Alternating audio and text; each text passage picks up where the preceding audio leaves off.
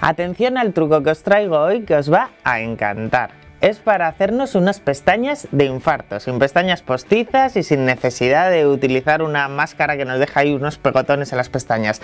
Ya veréis que es súper fácil de hacer y muy efectivo. Este truco me lo contó una maquilladora de la tele. Una vez cuando fui a la tele me dijo, te voy a contar yo un truco para que grabes un vídeo. Bueno, pues aquí está, ahora lo comparto con vosotros porque es súper fácil y ya veréis que os va a encantar.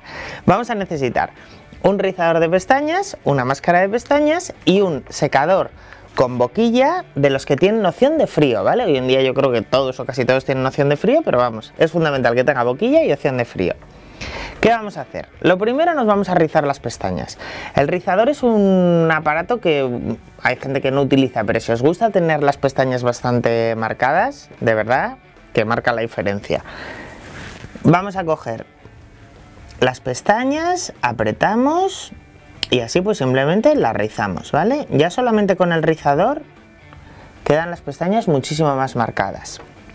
Ahora cogemos una máscara de pestañas, cualquiera, la que utilicéis, y aplicamos máscara bien desde la base.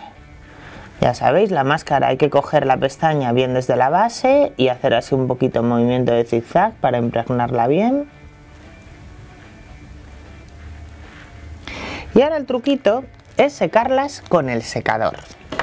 Esto que parece muy... Imaginaos, cuando secáis el cabello con un peine con el secador, ¿qué hacéis? Al meterle el secador le dais una forma y queda con esa forma y le dais volumen. Pues esto es lo mismo en las pestañas. Vamos a coger, encendemos el secador, voy a contároslo ahora porque luego cuando lo encienda ya no me vais a oír. Encendemos el secador, pongo opción frío y lo voy a colocar así para secar con el aire hacia arriba, para que se sequen las pestañas hacia arriba. Vamos allá.